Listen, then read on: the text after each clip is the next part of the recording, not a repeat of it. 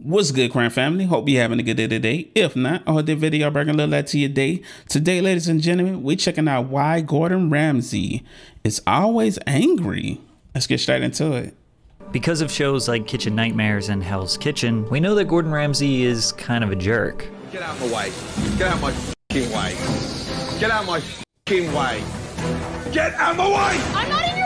Get upstairs then! He won't tell me. He's got no balls. Sheesh. Why are you throwing that risotto away? Because it was Are you- overcooked. Shut the fuck up! Missy, Missy, come here, you fat mouth little stupid Many people attribute Gordon's antics to a fake persona that he displays for entertainment. It's just a character, they say. However, when you consider the violent and abusive life Gordon had to endure, you will understand where his rage comes from. Gordon's father, Gordon Ramsay Sr., was a violent alcoholic who Ramsay described as a hard drinking womanizer. When his father was drunk, he'd either hit the children or throw things around the house. We had Oh to my run for our lives, he recalled. We spent many nights, weekends, hidden in the Department of Health and Social Security rooms. Although his father abused and neglected his children, his mother Helen suffered the most. She was beaten relentlessly, even when she Oh was seven months goodness, pregnant bro. with Gordon's younger sister. Gordon and his siblings, Diane, Ronnie, and Yvonne, often sat cowering upstairs in their bedrooms while their mother was subjected to physical abuse downstairs. She often feared one day he might kill her. Gordon was already bigger than his father by the age of 12, but he never fought back. I don't know if I could ever have hit him. We were never big or strong enough to stop him. He had power over all of us. The crazy part is, the kids often spent time in Child Protective Services. Police would take their father away during his outbursts, but it was only temporary as they would eventually return under the same roof as him. They could not escape.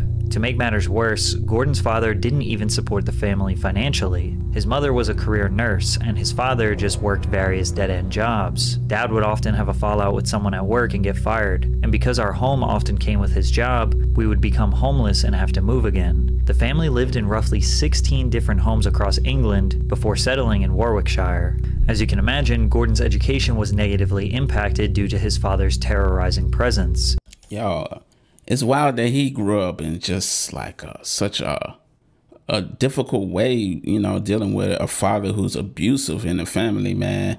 That definitely, I'm pretty sure that definitely can affect anybody, you know, growing up and have an outlook on how they're going to be in life, man. But wow, that's crazy. However, he found a positive outlet detached from his home life through football. He was aggressive on the field and could sprint really fast, which Oh, he landed played him a spot on the Rangers Football Club youth team. Gordon claims that he was scouted at one of his games by an Oxford United manager, which led him to being signed to the team. But an Oxford spokesman says otherwise. We don't have concrete evidence that he ever played for Oxford United, and none of those coaches around that time can remember him playing for us. This Oh, seems like a strange thing for Gordon to lie about, but nevertheless, football was a major passion of his. Yeah, why would he it was lie also about that? I around this time that lied. Gordon was finally able to flee his father's abuse for good. His mother told Gordon and his sister Diane that tension in their relationship was worse than ever. She forced them to move out of the house for their own safety. At age 16, Gordon and Diane moved out and got their own flat together in Banbury, located in Oxfordshire, southeast England. But at age 19, Gordon's dreams of being a football player were destroyed, which was the best thing that would ever happen to him.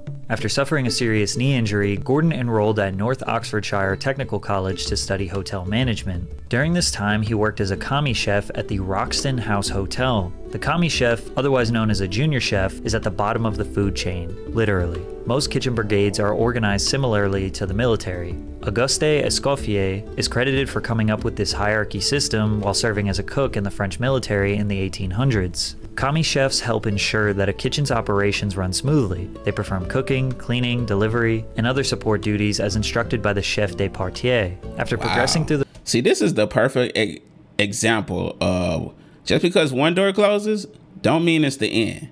Just because, you know, one dream is shut down, don't mean something else even better is not going to come along. That's why you never give up on, you know, achieving greatness. the ranks and becoming the sous chef, Gordon ran the kitchen and 70 seat dining room at the Wickham Arms until he started a sexual relationship with the owner's wife. I slept with the Wait a minute. because she uh, made Bro?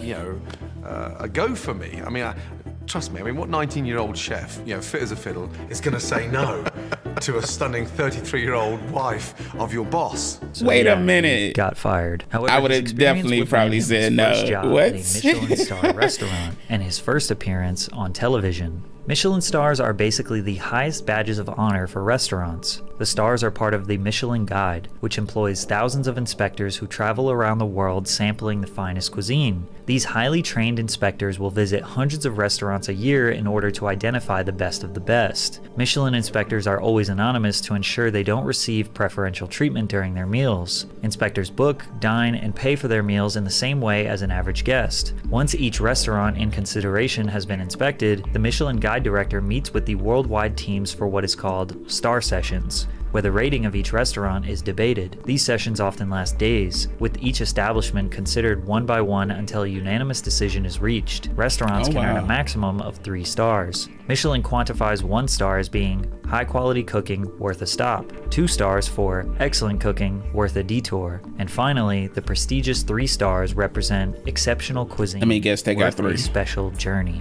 Ramsay honed his culinary skills at Harvey's in Wandsworth. This is where a legend was created. The executive chef at Harvey's was Marco Pierre White, who is not only world class, but also considered to be the first celebrity chef. Marco has been rumored to have somewhat of a temper. He has admitted that sometimes he shouts and screams in the kitchen.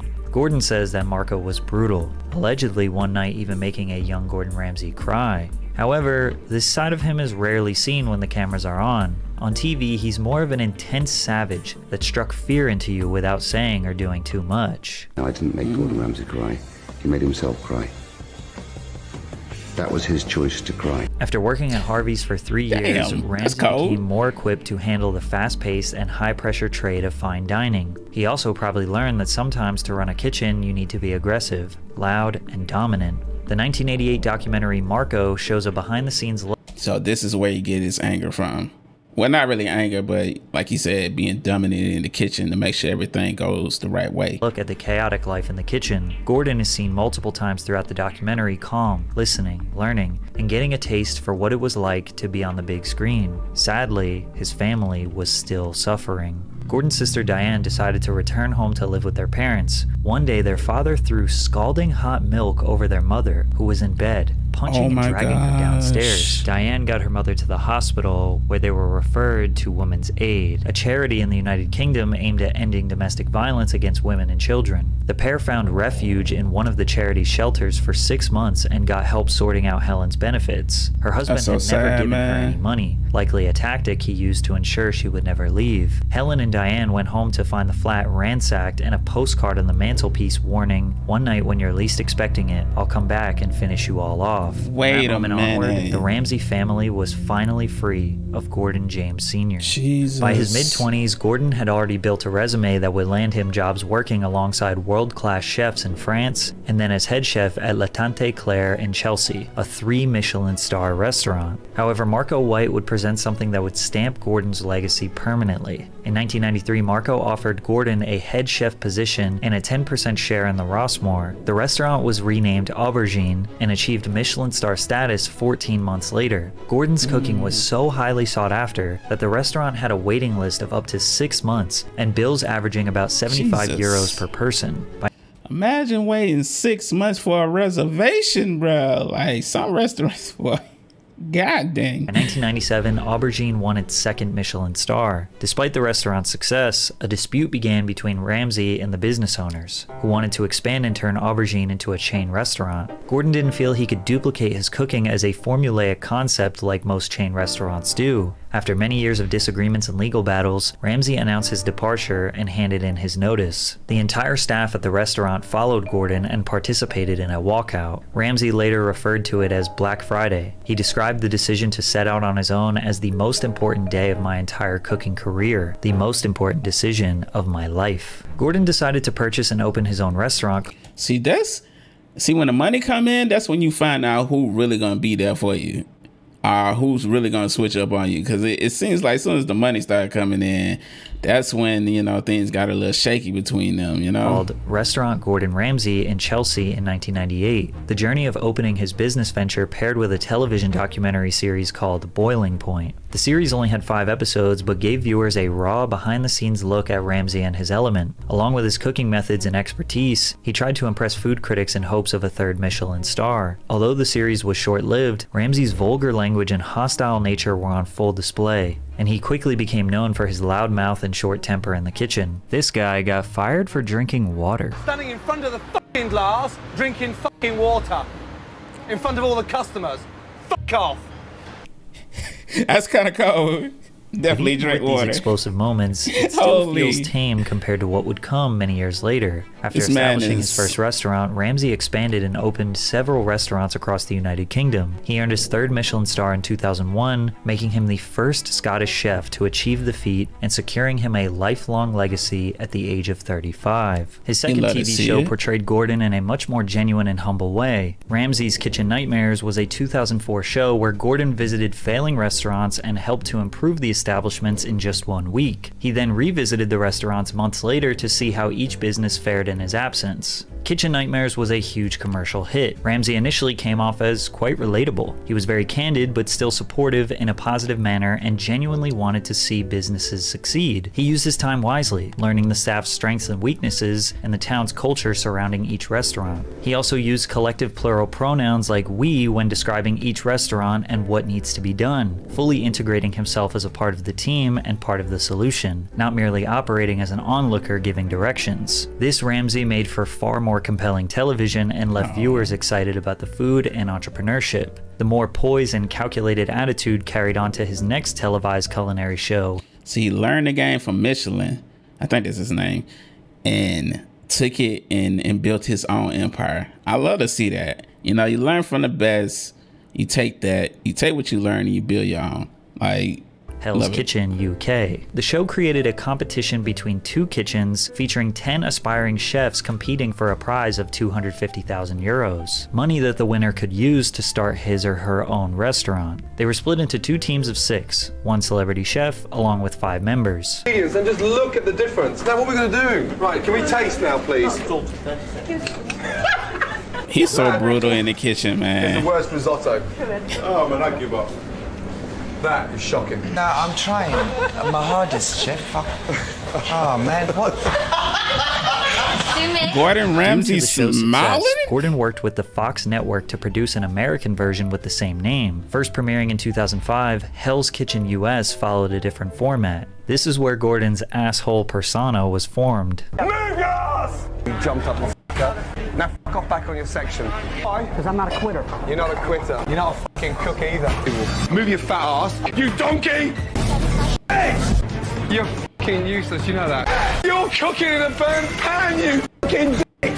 Fucking donkey! Don't let him cook a fucking thing! The US version of Hell's Kitchen surpassed the UK version in popularity. The show was significantly more dramatic than any of Gordon's UK shows, with the addition of loud sound effects, dramatic music, rapid jump cuts, and exaggerated drama. You're special. People love drama. People love chaos. That's the crazy thing about it. He may not be as, you know, turned up, you know, on camera as he shows on TV. I feel like he's a lot more laid back, but I'm pretty sure he still has a dominant uh, persona in the kitchen. That's because you probably have to, but I'm pretty sure. But for his TV show, especially like based in the USA, it's definitely uh, a more exaggerated version of him because that's gonna sell. People people love to see stuff like that, you know. I've now become not very special, thanks to face there. Hurry up, Giovanni! Yeah, but I'm not this face chef. Yeah, say that again. I said I'm not Uh-oh. this face Yeah, you're pissed, are you? I'm Not not. as- Look at me, look at me eyes! Not as pissed as I am! You fucking are! Donkey!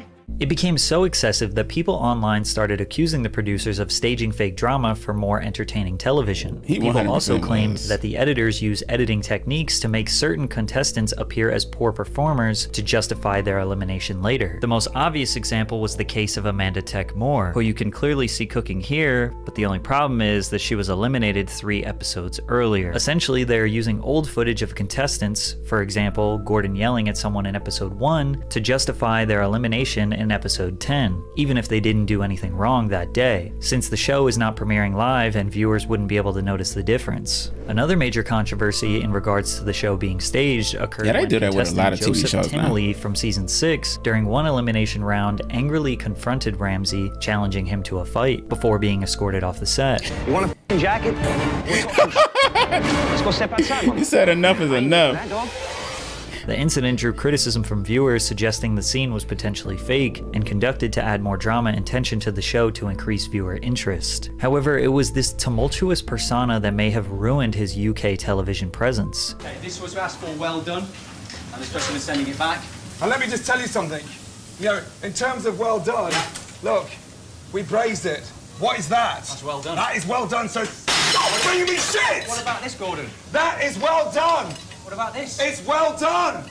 Without the added sound effects and intense music, Gordon's screaming looks less performative, which made viewers think he was actually just a jerk. But the USA audience couldn't get enough of Gordon. He was a rock star. He worked with the Fox network again to produce an American version of Kitchen Nightmares. First premiering in 2007, Kitchen Nightmares US followed the exact blueprint as the original, as the owners invited Gordon to spend a week with the failing restaurant to revive the business. However, like the US version of Hell's Kitchen, Kitchen Nightmares was more dramatized and featured Ramsay displaying a visibly short temper, regularly yelling profanities and insulting his staff. Gordon once even said the F word 298 times in just two episodes. When you saw Bro, those two Kitchen Nightmares are you into okay? one, last year when they had those What? 298 fucks, I wasn't proud of that. There has come a time when, at the age of 43, I'm getting a bit tired of the foul-mouthed bully chef. In that same interview, Ramsay was adamant in his refusal to pander to elderly British viewers by trying to act like anyone other than himself. So on one hand, he admits he isn't proud of his excessive outbursts. On the other, he isn't just gonna act like a proper lad to please his UK audience. Plus, in 2017, he came out with a hmm. show called The F Word, so I don't think he really cares that much.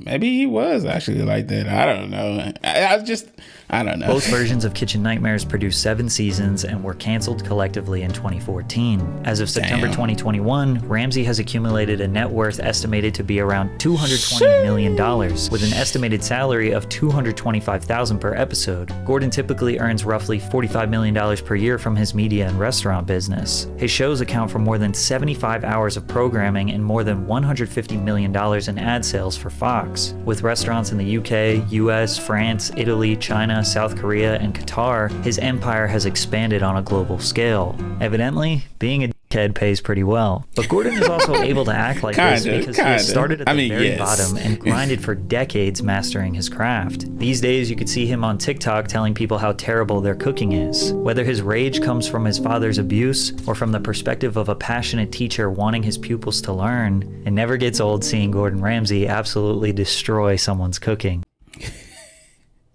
Yeah, man. Shout out to Gordon Ramsay, man. I watched a clip video of his one time and I was like, bro, what in the world is going on? But hey, it's Gordon Ramsay, you know?